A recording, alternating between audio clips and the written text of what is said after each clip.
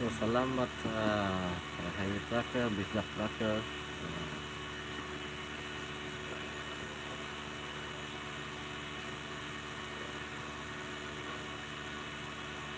channel. Pasensya na.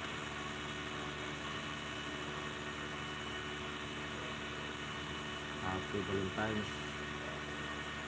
Uh, nandito lang ako. Kaya relax. Bukas bahay na naman. Salamat sa pagbisita sa bahay ko. God bless you all.